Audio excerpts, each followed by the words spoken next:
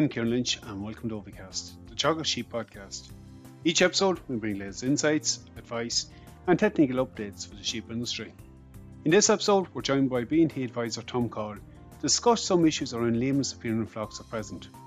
Tom discusses some of the predisposing factors we see in young lambs and the need for early intervention at the first sign of lameness. We discuss what the treatment options are, with Tom putting particular emphasis on the importance of good handling facilities in tackling some of these issues on farms. With many of his clients having invested in batch bat facilities in recent years, we finish up discussing how this has helped reduce the overall of lameness in their flocks, as well as some of the other benefits to this change. We start off, however, with Tom discussing how scald is a main problem in young lambs at the moment. If you're if you're a sheep farmer, all sheep farmers have, have lame sheep, and we know that uh, whether it's a lame ewe or a lame lamb, that's going to affect their thrive. Like so, from now on, um, generally we see scald as, as, as the main cause of, of lameness in young lambs. You can see a big variation across, across flocks there where you could have low incidence and high incidence. Um, and it's generally more of a, a risk factor where, where, you have high stocking rates, where you have uh, moist conditions like we have now, and where you have long grass. Maybe we mightn't have that problem now, like, but it may be more of a problem as we go, go through the summer. And also areas in the field where, where sheep kind of congregate or gather along feeders uh, can also increase the incidence.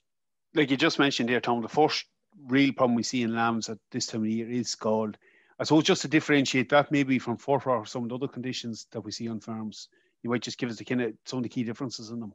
Generally, you'd see now, you know, farmers have lame lambs at uh, and uh, hopefully at this stage in lambs, uh, generally young lambs, you wouldn't have foot rot, but you may have foot rot in the ewes. And I suppose foot rot in the ewes, there's evidence there now that that's predisposing to um, lameness, uh, scald appearing in the, in the lambs as well. Can so it be spread from one to the other. So generally with scald there, the, the skin between the cleats becomes uh, red and swollen. And you can see it when you part the two cleats there, you see it's, it's covered in a thin layer of, of, white discharge. Very painful for the for the lambs, and that's mainly why it why it affects their their um, their thrive. And it's caused by a bacteria, and that bacteria survives in the environment. So basically, you know, it's, it's always there. That's why, why sheep farmers always have have scald year in year out. Um, and as I say, it, it spreads rapidly in warm, wet conditions.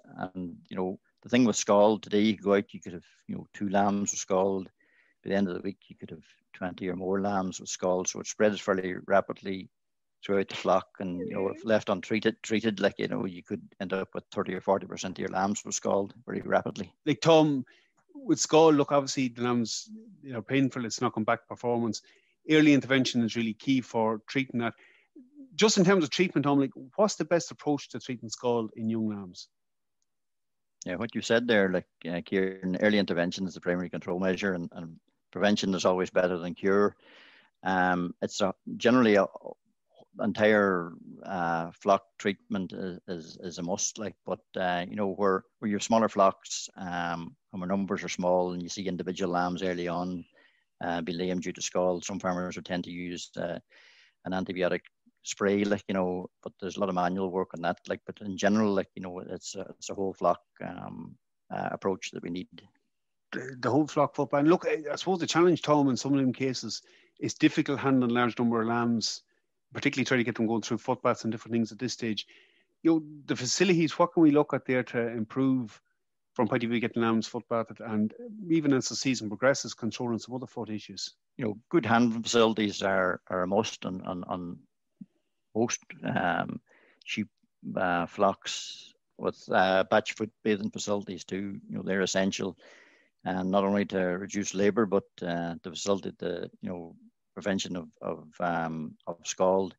So, well, I mentioned the topical sprays, like you know, but the other one, you know, routine foot bathing in either a ten percent zinc sulfate or copper sulfate solution uh, is probably the best option.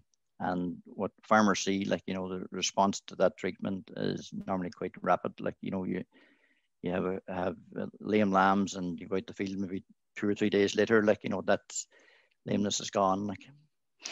And like, look, it, it's the one that as the year progresses, you're keeping some of them other issues at bay. Like a lot of your clients, and over the years would have moved more towards batch foot baths. Like the advantage of them, Tom, over you know, maybe some more temporary setups. Where do you see that having a big role in control of issues? Yeah. So, um, I suppose like the, the principles behind foot bathing is the sheep should stand in a solution for, for two to three minutes and then stand in a clean, dry yard, like preferably concrete, for at least another 30 minutes uh, for the solution to dry into the hoof. You know, and where your facilities aren't good and sheep stand in muddy areas, like, you know, you're based, it's basically waste of time. So a good few of my clients who had issues with lameness in the past uh, would now routinely um, use batch foot baths to to um, to treat the for for for scald. Like so, the batch foot bath is you know it's it's an area made up maybe the pen or an, an, a concrete area where it can hold the solution. Like so, normally the solution is about uh, five centimeters uh, in, in, in deep. Um, so it covers the entire hoof. Um, the sheep go into it and uh, stand in it for two or three uh, minutes. Like so, it, it, could be a batch of ewes. The easiest way, you know, with young lambs is to put the lambs in along with the ewes. Like you know, so you need enough space for the ewes and lambs to stand in that uh, batch foot bath. And then, you know, farmers at this time of the year they'll be taking the sheep in to, to do other tasks with them, like you know, and and there's plenty of tasks that you're doing you know during the year there like you know where you're gathering them like is it for coccidiosis treatment maybe nematodirus treatment now this time of the year and as the year goes on like you, you're bringing them in again for a blowfly prevention and then probably for shearing and for dosing later on and then for for drafting. Like so a lot of my clients would each time they bring them in they're they're uh, the sheep actually stand on on the on the on the footbath. Um, and then probably more importantly, then they have an area where when the sheep leaves the footbath or leaves the, the handling facility after after some sort of treatment, they can actually stand on a concrete area then for, for about uh, 30 minutes to allow the solution to actually dry into the hoof. And that's vitally important as well. Like, you know, there's no point in uh, run, doing all the work with them, standing a batch foot bath, run them through a race and then uh, letting them back out to straight away to a, a muddy gap in the field. Like, you know, you're basically wasting your time doing that. That area kind of half doubles up, Tom, as a holding area post treatment. So they get they're getting through it every single time they go through the yard. Yeah. So yeah, every time you have them in, and and the one thing we'd uh, we'd see, like you know, the farmers that routinely foot bathe their, their lambs maybe every two to three weeks over the, course of the season. Like that maybe taking them in six or seven times, like you know, over over their over their lifetime or or up until up until weaning anyway. You know, they, they don't have lame lambs, like you know, so that's it, it does work. That's what I was just going to ask you. Like you followed a lot of clients have took this approach over the years. I suppose that's eh, the start thing you've seen on the farms. The challenge of dealing with lame sheep or the instance in the flock drops off dramatically within the first year or so. Yeah, and, and probably the that's true, and, and probably the advice we would give to any and a young farmer to starting out into sheep, like, you know, it's the first thing that probably, apart from maybe good fences instead of a paddock system, like, you know, the first thing is to put in a good handling facility and a batch foot bath for foot bathing sheep, like, you know, be real important that they do that because, you know, going around treating uh, lame sheep on your farm um, is very labor intensive. And the other thing as well, you know, that there's evidence there now that, you know, that if you don't control the scald, it'll eventually lead to foot rot. Uh, and then that's an even bigger issue in your farm then when you when you're trying to control foot rot.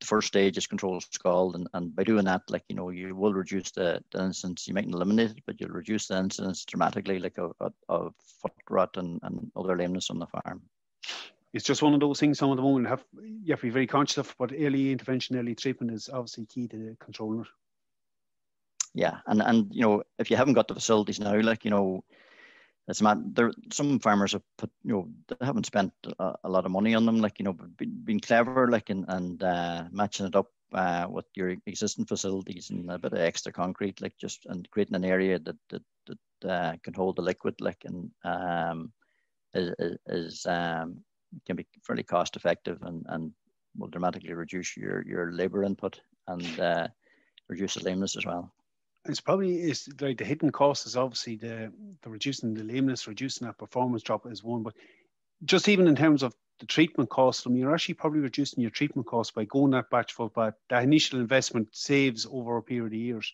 both in terms of products used and the amount of times you have to go back at them and do it.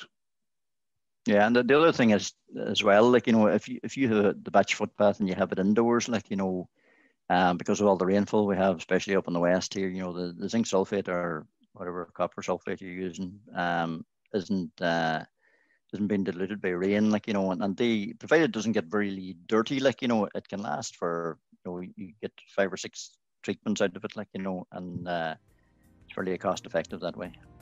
Tom, always good getting your views on different issues, crop up and farms. Good having you on with us today. Thanks very much for your time. Thanks, Ciarán. Okay, we'll have to finish up at this point. Again, some very useful information from Tom in that podcast. As well, the key thing at the moment, at the first signs of lameness in lambs, it needs prompt treatment to avoid any performance setback or the opportunity for other infections to take hold in the flock. Again, Tom highlighted the need for good facilities and how that investment in a batch foot bath really pays dividends both from a reducing lameness point of view, performance point of view, and labour input point of view long term on farms. So something worth considering for your own. That's it for me for this episode. Again, for any updates from the sheep program, keep an eye on our Twitter page at Teagasc Sheep. I'm Ciarán Lynch. Thanks for joining us. Don't forget to subscribe and listen in to any of our episodes.